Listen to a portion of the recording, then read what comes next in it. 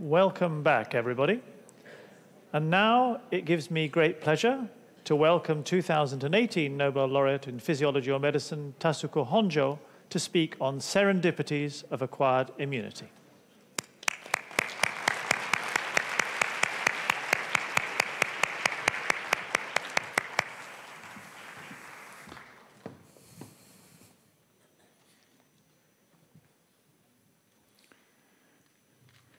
Thank you very much for joining today. The title of my talk is the identical what I spoke in Stockholm last December. But the, obviously, because of the time limitation, I trimmed it a lot. The immune surveillance against cancer has been proposed by Sir Macfarlane Burnet, 1970. And this hypothesis gained a lot of support, including the cancer incidence increase after long-term immunosuppressor for organ transplant patient. However, numerous attempts to develop immunotherapy was unsuccessful. This could be by many reasons. The most importantly, all these attempts, cancer vaccine, in vitro activation, T lymphocytes, cytokine treatment, including gamma interferon, IL-2, IL-12, all these were attempt to push the axle of the, our immune system. And unfortunately, people didn't realize there is another regulatory mechanism in the immune system that is a brake. The first molecule which control immune system were discovered by Pierre Golstein, although he identified cDNA, he didn't know that is the immune negative regulator. Around the sorry, around the 1994-5, several people, Tak Mak, uh, Bluestone, Arlene Sharpe, and Jim Allison, and several others, almost simultaneously showed CTLA4 is a negative regulator of immune system. And 1966, Jim Allison first demonstrated blocking CTLA4 can block the growth of tumor cell in animal model. We identified PD-1 1992 without knowing its negative regulator of immune system, but our long effort finally reached the conclusion that PD-1 is negative regulator of immune system. Without PD-1, animal get lots of autoimmune diseases depending on their genetic background. Based on these findings, we thought this can be a useful target to activate the immune system and use for the treatment of cancer. In collaboration with Dr. Minato in Kyoto University, we first demonstrated, compared with the rat IgG as a control, anti-PD-L1, that the ligand for PD-1 receptor can slow down the growth of the tumor and also prolong the lifespan of the tumor-bearing mice. Based on these findings, we persuaded finally, after long struggle, pharmaceutical industry to invest and they reached the conclusion compared with a typical chemotherapy drug, dacarbazine and nivolumab, that the Bristol Myers anti-PD-1 antibody shows a very clear difference for the survival of melanoma patient. Based on numerous number of clinical trials, the FDA and also Japanese uh, PMDA, and also in Europe, all over the world, currently approved this treatment for over a dozen different cancers. This includes melanoma, lung cancer, renal cancer, and most importantly, they approved all highly mutated cancers, regardless of origin of organs. This treatment are currently thought the paradigm shift of cancer therapy. The reason is first, it causes less adverse effects because normal cells are not affected in theory. Secondly, it can be used wide variety of tumors. More than 1,000 clinical trials are going on currently, or even more. And thirdly, the effect is durable. Patients who responded continued to tumorless even after the treatment was stopped. Over five years survival are recorded. Why this is so effective? We learned tumor cell continue to mutate and chemotherapy can often select resistant cell because tumor cell continue to mutate their genome and resistance lines are selected out. If the doctor changed the medicine, again, another resistant cells grow.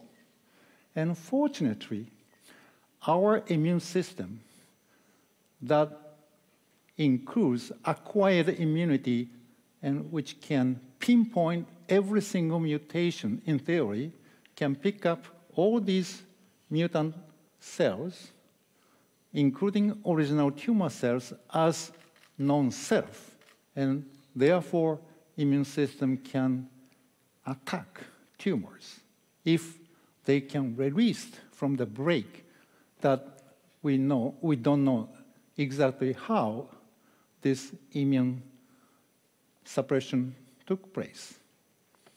And currently, more than 1,000 combinatorial therapy is underway. The major effort is to improve the efficacy of immunotherapy using anti-PD-1 plus CTLA4, chemo, radiotherapy, anti-angiogenesis agent, and also chemoradiotherapy, and many others the outcome of this clinical trial will gradually revealed in a few years.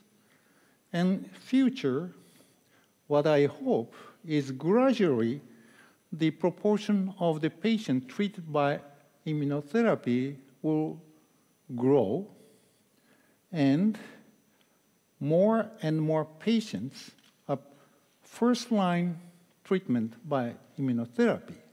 Currently, most of cases either second or third line. And I have a very optimistic view or hope in future, majority of the patients, cancer patients, are treated. And if, even if we may not be able to completely eliminate the tumors, but we may be able to coexist with tumor. If we are old enough, it won't be any serious problem even we have some tumor in our body. The other problem, not only efficacy, is side effects. And actually, PD-1 deficiency is not that simple. Recently, Dr. Sidonia Fagarasan in Riken, Yokohama, published very interesting but striking observation. The PD-1 deficiency caused enormous expansion of T cell as we found 1999, not only that, it causes enormous consumption of metabolites in blood, and that will clearly see the shift of metabolites, and that affects critical neurotransmitter like dopamine or serotonin and resulting in the change of the behavior or the, I don't know what, but critical change happens in the brain function. And also, we know gut bacterial change because of PD-1 deficiency. Dr. Fagarasan group showed taking the blood and compared with normal mice, wild type, they show very big difference in tryptophan metabolism and TCA or mitochondrial related metabolites. And this change is so significant that, as I said, their circulation, the brain take up all the amino acid to make their neurotransmitter, and they become shortage. This reflects enormous activation of mitochondria in T lymphocytes. And PD-1 deficiency, they also show disturbed gut microbiota because PD-1 deficiency has a problem of IgA production. IgA normally coat bacterial surface and important for maintenance of the good bacteria. As you can see, IgA-coated bacteria is significantly less compared to wild type, and actual bacterial spectrum in the gut of the PD-1 deficient animal change. Most drastically, excuse me, most drastically Enterobacter are enormously shifted in the PD-1 deficient animals. And this not only seen, but earlier, actually Fagarasan showed immune deficiency linked with gut microbiome distribution. Back 2002, she is the first showed this interaction microbiome expansion, especially strange microbiome called filamentous, uh, segmented filamentous bacteria expands in AID deficient animal, which is required for IgA production. So IgA is essential for maintaining the bacteria. And strikingly, in the absence of AID deficiency, uh, sorry, IgA caused by AID deficiency activate host immune system like all these uh, tumor-like nodal is because of the lymph node stimulated by bacteria and expanded. And also spleen is much larger compared to wild type. And how this happens? And PD-1, AID are my favorite molecules, and I wondered whether PD-1 deficiency showing the anti-tumor activity, whether AID deficiency also show the same phenotype. And recently, my uh, young student compared wild type and AID deficiency and tumor growth is certainly reduced, just like PD-1 deficiency. In addition, if you compare this uh, aged wild type, which are treated anti-PD-1, they do not respond anti-PD-1 treatment and just grow. However, young wild type mouse respond to anti-PD-1 treatment and the size of the tumor is less. Most strikingly, aged PDAID deficient animals shows a complete suppression of tumor. So not only PD-1 deficiency, but also AID deficiency, both are required for IgA production, can show hyperactivated immune response against the tumor. Most excitingly, if we put these animals into germ-free without gut bacteria, this striking effect of AID deficiency disappear. So this query tells us microbiota in the gut is activating our immune system, and that maintain our metabolite, IgA production, and all these immune system. And this is also important to control homeostasis of our body, including the brain system. Excuse me.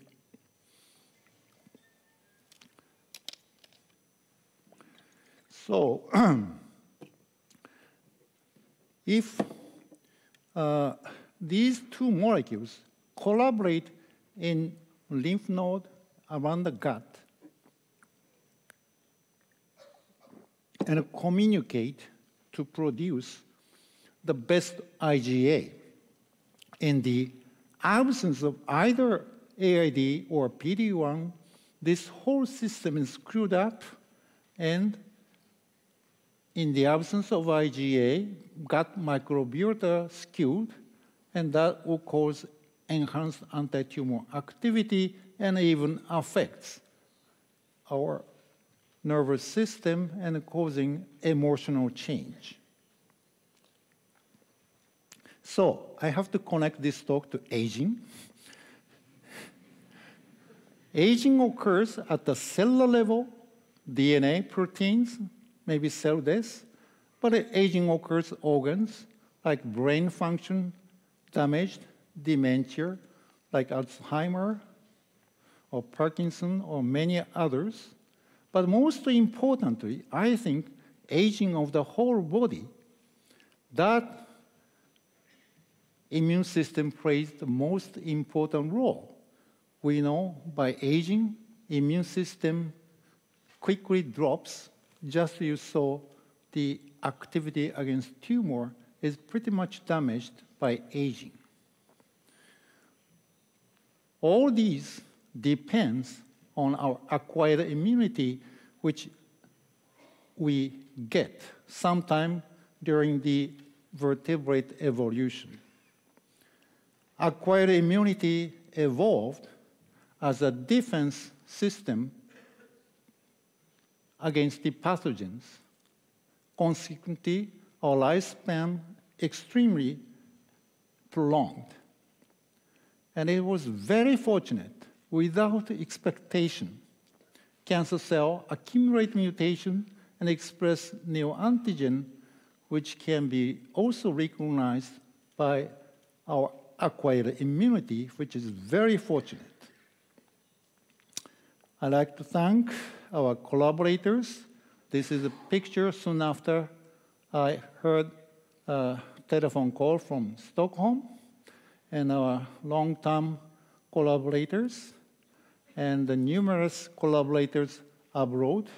And I also thank the generous support from our government and many other funding agencies. Thank you for your attention.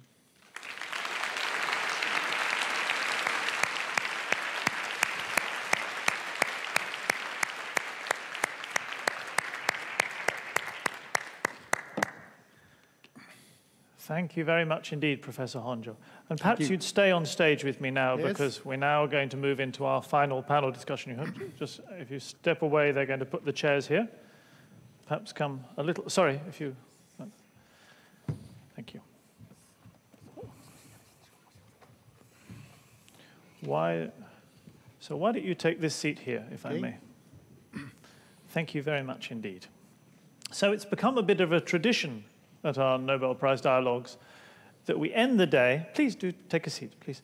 Um, uh, we, we, we end the day by bringing our, all our laureates together for one final light-hearted discussion panel. And I would therefore like to invite all our laureates on stage, please. Please give them a round of applause.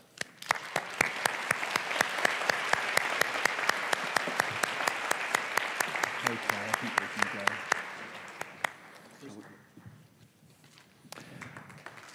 Randy, would you like to go at the end? Tim next to Randy.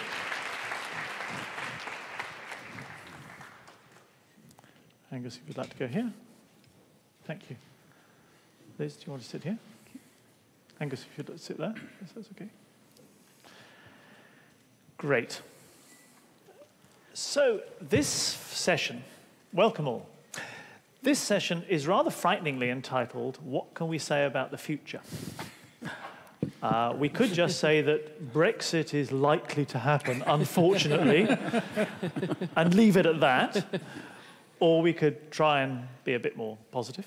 Um, I would, uh, I think we should at least start in the realm of aging, since that's what the meeting is about. So, Liz, let's start with you. You're next to me. What can we say about the future of aging? Well, I'm going to say what I hope and aspire the future of aging will be like, because you have to know what to hope for in order to make things happen. So let's say, what, what would we like? So I would say, what would I like to see? I'd like to see that while we're aging, as we know, this is going to happen with demographies, we're going to go through you know, a lot of um, growth in the demographic of people who are old. But instead of counting their chronological years, we're going to be dealing with the fact that there are physical infirmities, preventing them and handling them through all sorts of you know, useful technological ways. And we're going to be seeing people now looking at that aging period instead of as a retirement where you stop doing things, where you're actually starting to really stay engaged in ways that you didn't before. And that will be evolving in a continuous way as we age. There won't be a sudden, I'm working, I'm retiring, and therefore I'm doing something different. It'll really evolve, so we'll stay extremely engaged and I think very productively engaged. So the aging demographic will be an asset rather than you know what we always say is a burden. So that's what I see as uh, we should aspire to that. I think that's very doable, and uh, that's where I see it. Lovely, an opportunity, not a problem. Lovely. Randy, can I shoot straight down to the end of the line? You can, you can concentrate on your Parkinson's disease Sure, sure, subject, or you can go more broadly. So I'm, um, I'm a reductionist. I firmly believe in trying to understand how things work by understanding their mechanism. And so I'm going to make some very specific predictions pertinent to the Parkinson's disease. The first is I think in the next 10 years, we will have a, uh, an effective way of monitoring the earliest stages of the disease. And I'll give you one very concrete example of where progress I believe can be made. I mentioned this um, um, pathological feature of the cells in the brain that make dopamine that accompanies the disease. Unfortunately, that structure, the Lewy body, can only be seen in uh, brain biopsies of deceased patients. But I believe in the next 10 years we will have um, non invasive procedures to diagnose their presence and that we will be able to see them in people long before the disease um, progresses to pathology. And that will be valuable because, as I said, if you can figure out a way to intervene early, then you can block progression of disease. So I think the next 10 years we'll see that breakthrough. I also believe that we'll understand at a more fundamental level why the dopaminergic neurons die. And if we can pinpoint that, then I think chemo, chemotherapeutic agents will be developed that will arrest that death. And I also, I'll take an even bold, bolder step and predict that we'll understand how the Lewy body that is limited to the dopaminergic neurons, how it invades other areas of the brain. And then if we understand how that works, then again, maybe we can devise some intervention to block that. Thank you. So you can hold me to that. We'll be back here in 10 years We- and you can remind me of that. We will, we will. Three lovely research challenges. How confident are you in making predictions in the future? Well, of science? course, not at all. but, uh, I mean, my favorite example that, that I say, state when I'm asked about this is who would have predicted CRISPR would advance from a microbiological phenomenon of curiosity but no obvious practical application to the enormous tool that it now is or will be on the basis of work that's just been done in the last less than 10 years. No one, no one in their right mind would have predicted that. So there will be, there will be even more spectacular discoveries beyond the three that I hope we have that, that we'll be able to review 10 years from now. Fantastic. Well, Tim, we've gone from the societal to the cellular, so you can go anywhere you like now. Well, I mean, I think it's really important to understand that we don't know what we don't know. And that's where discoveries are made. Wandering around, just keeping your eyes open, thinking about them, and stumbling on things by accident. And that's the name of the game. I think it's probably the game we're all, we've all been in. Shells on the beach. Shells on the beach, exactly so. Um, I'd like to say uh, one thing about aging. I mean, I've been at death's door twice now in my life, and I'm very grateful that I'm still alive. I've been alive now five years longer than my dad, who died of something that almost killed me. And that's thanks to medical advances. So I think I used to think it was just a matter of eating well and you know living cleanly and all that kind of mm. stuff, but it isn't actually. I'm, I owe my I owe my life to drugs and doctors. So I'd like to raise a toast to them. Thank you. Professor Honjo.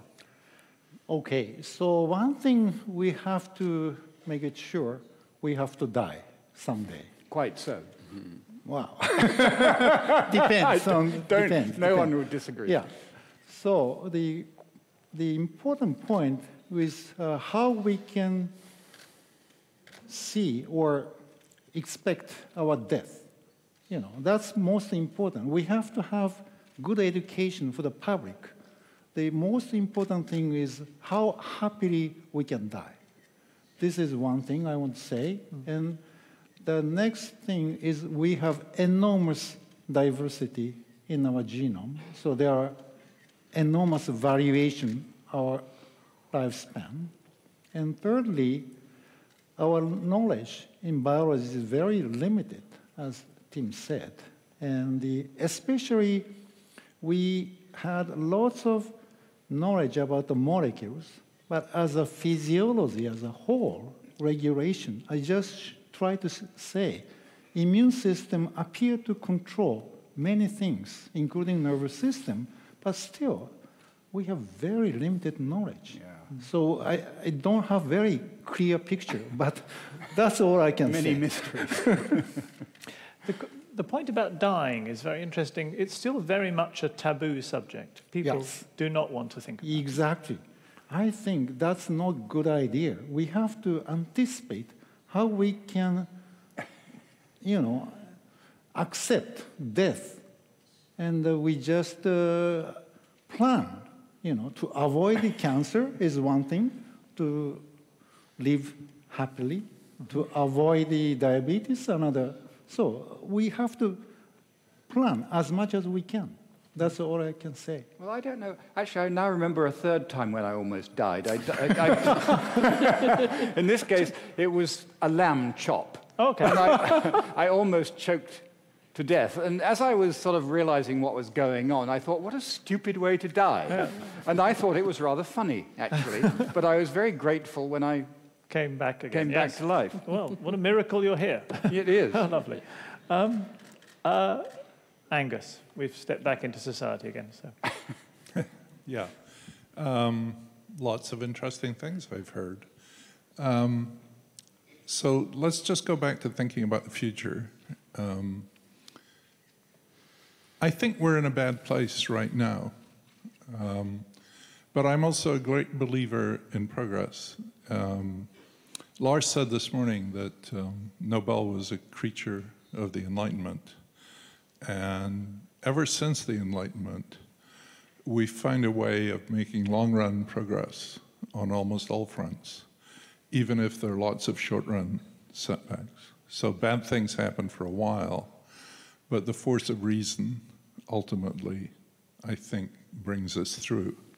So I think we are in a bad place right now, both politically, um, economically, and that the system, like capitalism, that has served us very well, is not functioning very well right now.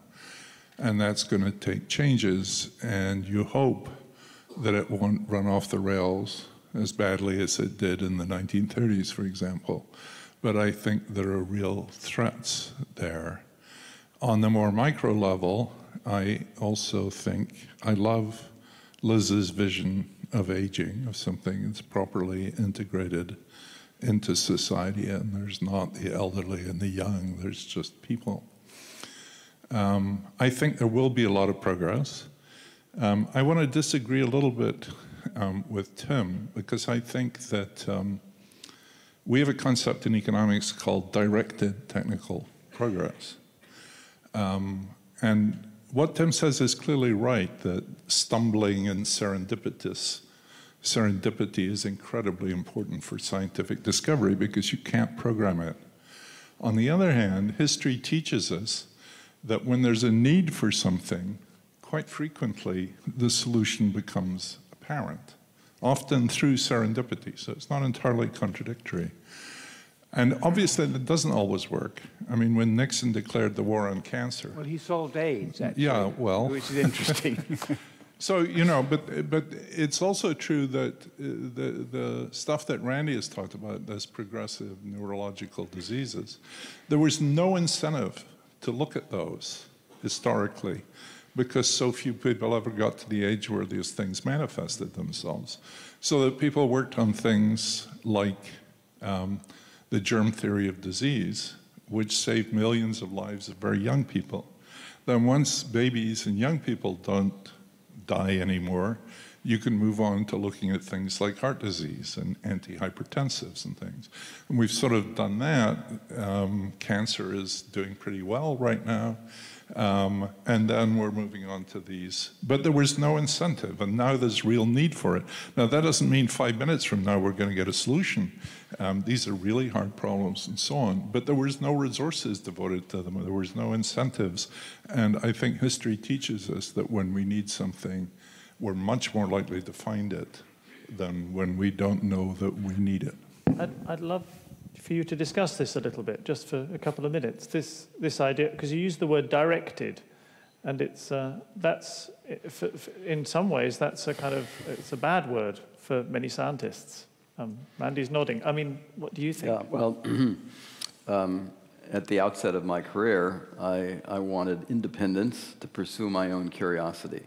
And I treasured that opportunity to do something with no possible practical benefit that I could conceive of.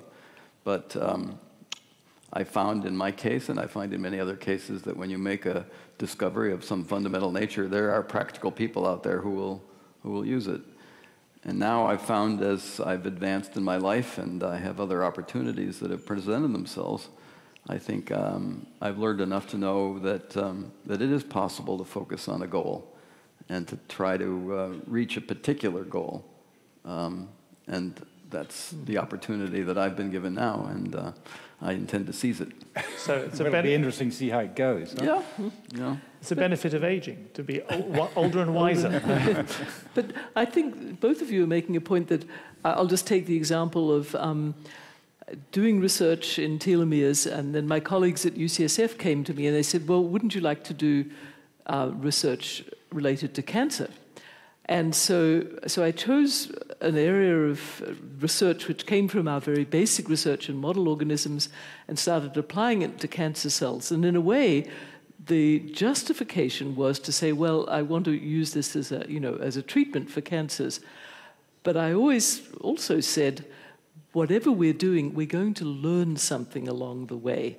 And even though there is not a miracle cure that, you know, at the moment relies on what we were doing with that goal, we still learned an awful lot going along the way. So I think you can have a mission and sort of understand that with the complexity of aging, you will learn so many valuable things that just in the course of doing something with a mission, even if the mission itself didn't get met as you thought it would, I bet really interesting things are going to come out, and I think that's what you're implying, that you don't know what they'll be. But even from these very goal directed things, Randy, I bet you're going to find out amazingly interesting things that were not exactly the question that was asked, but just by doing it, really interesting answers came out that in the end will bear on, on that.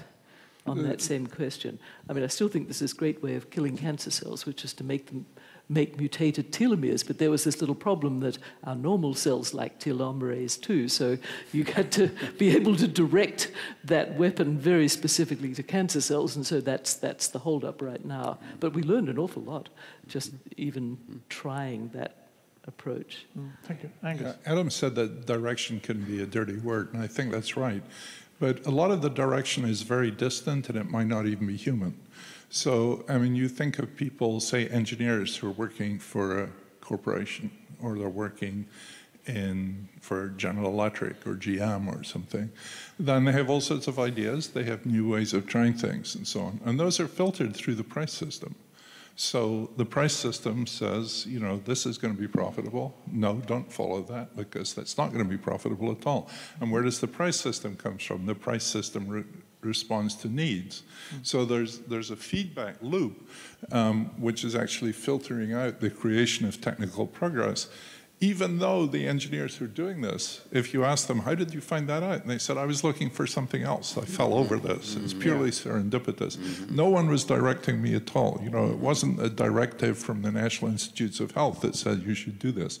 On the other hand, you know, the National Institutes of Health can sometimes direct people in very positive ways. I mean, we were um, talking today about to Sarah about a friend of ours, Richard Suzman at the National Institutes of Health, who um, was a sponsor to a lot of us. And I would never have started working on health. Anne would never have started working on health. A whole bunch of economists would never have started working on health if he hadn't come and knocked on our door and said, we can give you some money, you know, if you work on this. And we said, well, I got to work on something. you know, um, this is as good as anything. So, you know, that sort of direction, which is not heavy-handed, um, is, you know, it can be very productive. I think it's a really great mixture, though. And I, I just wanted, I know Richard, I remember Richard Saul Suzman as well. And this mixture of directing and not. And another great thing from the National Institutes of Health, I remember hearing the person who used to direct all of the external funding of basic research outside the NIH. And he was talking to us just within the confines of NIH at a council meeting. But he said, you know, the whole point was of NIH funding, we would give you a researcher funding. And our, our sort of word, our blessing to you was take the money and run, which was saying go with where the science was going. But this was in the Institute of Aging. So they understood, you know, that that was, you had a goal, but you could also um, really do research if you let people let their creativity run wild. You know, no one ever gives money to NIH researchers who are doing basic science and doesn't see that money used. I mean, scientists really want to get the science done. And, uh, and, and I think that's where we're going to find out things about aging too, that, you know, we didn't know, but we're going to have to, so my future ideal world will have come about because we've let people continue to do research on these really open questions. That's okay. Yeah, so I generally accept the necessity is the mother of the discovery. But that's more directly applied to physics, engineering, maybe chemistry. But in biology, we cannot design any strategy to reach the goal. Most of the finding in biology is serendipity or some accidental finding because there are so much unknown factors. I think the physics is the science of atoms. It's a limited number.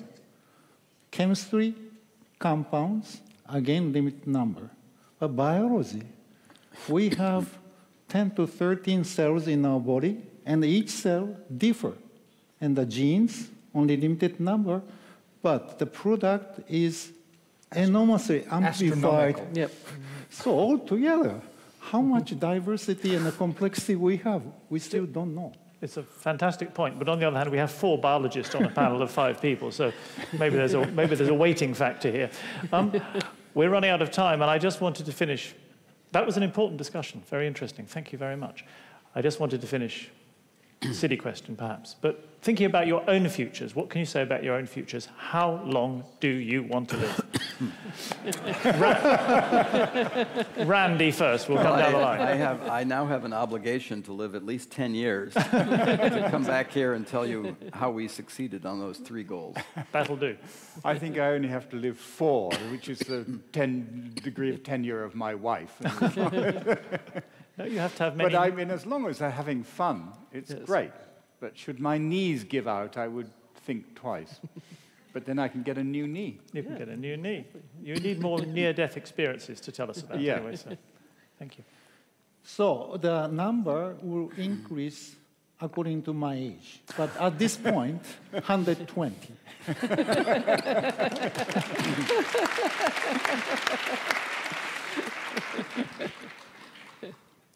Um, Ann and I have just finished the first draft of a book, and I'd like to live to see it come out. I, I have a very good friend who's also a Nobel laureate, Danny Kahneman. Um, and Danny, for years, has been telling me that he has no idea why he's alive. And he thinks life is a bore, and there's no point to it at all. So he's writing another book, and I saw him the other day, and I said, Do you still prefer to be dead? And he said, No. And I ah. said, Well, that's great. You should keep on writing. He said, Yeah, but I'd like to be dead before the reviews come out. Can't beat that. Good one. Okay, last word goes to you, Liz. Well, I, I think as long as I think I have a purpose that I feel is meaningful, I want to keep, I want to keep living. Yeah, but on, on the other hand, I do want to keep enjoying it too. So purpose with enjoyment, and if that goes, then I don't care if I go. That sounds like the secret of happy long life. Yeah. Thank you very much indeed, all of you. Uh, thank you to the audience. And that's it from us. Now, just to the closing remarks. Thank you. Thank you. Did you- did you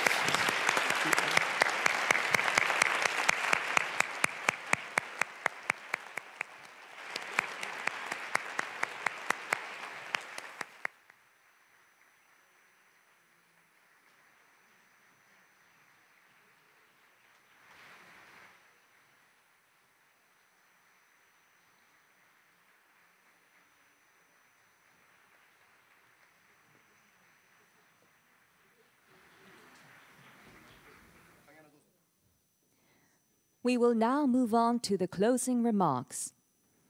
Mrs. Laura Sprechmann, Acting CEO of Nobel Media, please.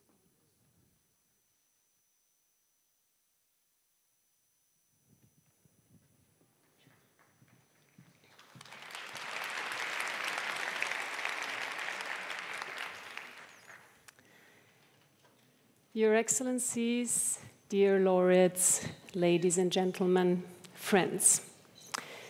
It may not come as a surprise that Nobel laureates are happy to speak about aging. In a way, we can blame Nobel laureates for the fact that we are living longer, or we can thank Nobel laureates for it. Without Alexander Fleming, who found the healing effect of penicillin, many of us would have died in an infection. Without the electrocardiogram discovered by Wilhelm Einthoven, some heart failures would have, le- would have led to early death. Without the work of Nobel laureates Banting and MacLeod, who discovered insulin, many diabetics would have died young. Not to mention Tasuku Honjo and Jim Allison, whose groundbreaking work on immunotherapy has helped numerous people to survive cancer, as we just heard. These were just some of the Nobel Prize awarded discoveries that have made our lives longer. It doesn't stop there. We shouldn't forget all the peace laureates who dedicated their lives to save people getting killed in armed conflicts. All the Nobel Prize awarded institutions, such as the United Nations, the Doctors Without Borders, or the Red Cross, who protect lives, human rights, and democracy. Getting older is a privilege. Let's not forget that it's not obvious to make it to that stage in life. Are many who have put their lives into making our lives longer and healthier. As Einstein put it in one of his famous quotes as an advice to young people never lose your curiosity. This is what we have seen today a colorful display of Nobel laureates' curiosity and creativity. In other words, a display of their youth. I would like to thank our distinguished Nobel laureates and speakers for opening our minds today. A warm thanks to JSPS, President Susumu Satomi, and his great team for this collaboration. And to our Nobel International partners, ABB, Ericsson, 3M, Scania, and Volvo Cars for making this possible. Thanks to Ambassador Magnus Robach and the Embassy of Sweden. To my wonderful colleagues at Nobel Media, Lena Abrahamsson, who's the director of events, who have made all this come to life. And thank you, Adam Smith, for taking us through this day and for composing the program. To all of you, thank you so much for being here today, and I hope to see you again very soon. Arigato gozaimasu. Thank you.